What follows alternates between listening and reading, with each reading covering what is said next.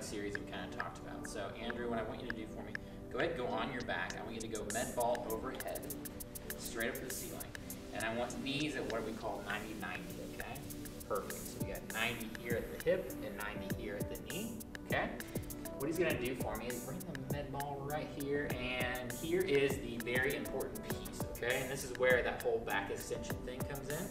To tie in the core, we have to make sure that we're locked down here. So I always say deep breath in, out, fix those ribs down, yep. And now I want you to brace right here like someone's about to punch you right there, okay? Maintain that pressure all the way around here. So give me a deep breath down here. There you go, good.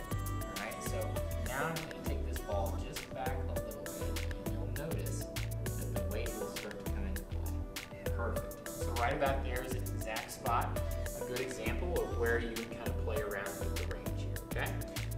keeping this all locked in, what he's gonna do for me is hold the med ball, it can be a kettlebell or a weight or anything like that, and I'm gonna ask him to keep the 90 degrees, but go ahead and start to tap with the heel.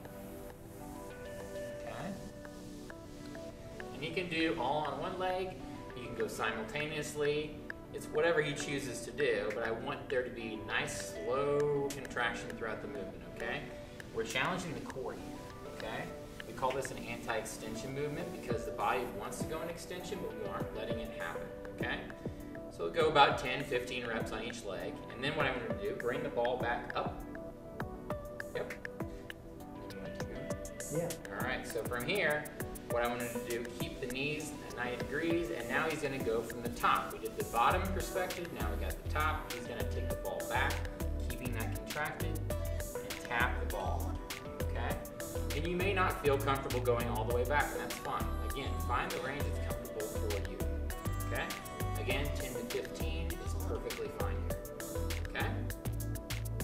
All right, well, next and the last one of the series, what I'm gonna have him do is I'm gonna have him crunch the ball in between his elbow and his knee, okay?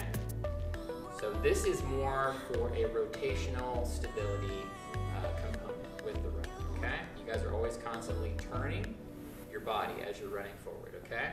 So what he's gonna do next is he's gonna have this hand go up to the ceiling, yep. He's gonna maintain hard pressure here between his elbow and his knee, okay, with the ball. As he's breathing in, I want him to reach with this hand going back and tap with that leg going forward. Yep. Bring it back. And again.